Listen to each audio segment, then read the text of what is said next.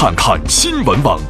是的，那继二零一三年呢，十一月二十二号在泰国的苏梅岛举行婚礼之后呢，二零一四年九月五号，郑欣宜和丈夫呢也在香港就补办了婚礼。那在这个婚礼上，当然她的很多的好朋友都会出席，对不对？对，这个阿 sa、阿娇、应采儿、容祖儿等等郑希怡的圈内的一般好友就担纲这个姐妹团，是。而还有这个陈小春啊、梁汉文、刘浩龙、李灿森等等是南方的兄弟团，就是团团都很团团团圆圆，对对，都是一家人。对，不过就现场的情况来看呢，姐妹团的整蛊能力好像比兄弟团要略胜一筹呢。肯定的。兩個新人茶，靚女阿 Q 同阿 sa，我哋祝 Unicorn 同埋 Andy 白頭到老，永結同心。别看以这两个小妮子为首的姐妹团柔柔弱弱的，玩起兄弟团来一点都不手软。第一关换装秀，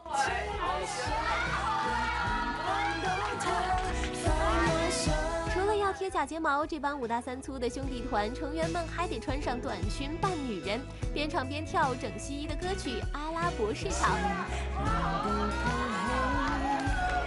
未想參加片分类，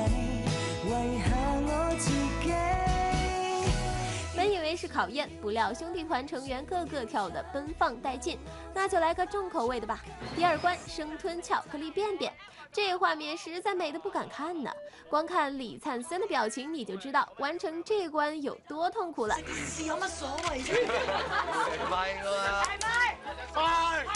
连过两关后，兄弟团们迎来了最没节操的第三关——丝袜大挑战。一般型男一个个头套丝袜，造型全无，看得姐妹团们花枝乱颤。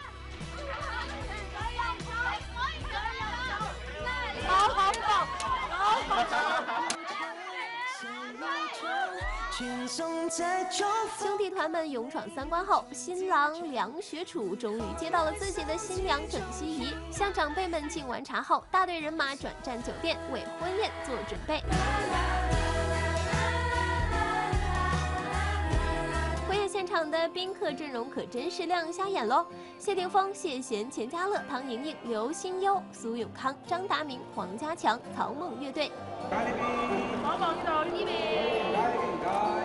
亲友入席之后，郑希怡再次换装现身。不过新娘子似乎还在对早上的解新娘环节念念不忘。每一个过程我都在享受当中。我听到下面很吵很吵的声音，我非常好奇，很一直都很想走下去看。如今三十三岁的郑希怡已经家族人妇，宝贝计划却似乎还未列上她的行程表。这个没有在我计划当中，其实我觉得随缘吧。